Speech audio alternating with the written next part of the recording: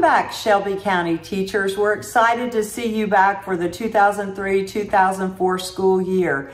And we're excited about the Mastery Learning Conference. Lots of things will be taking place there, and we listened to your suggestions from last year, the things you enjoyed, we're repeating, and we took your suggestions to heart and made some changes this year. We hope it's a great day of learning. Mainly, you're going to be learning about high level academic and behavior expectations, what to do in the classroom to achieve those.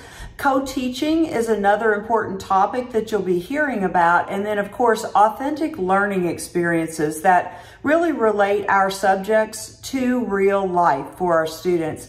Our presenters are not only local, but state and national presenters of very high quality. So we hope you have a wonderful day and also a wonderful school year and welcome back to Shelby County Public Schools.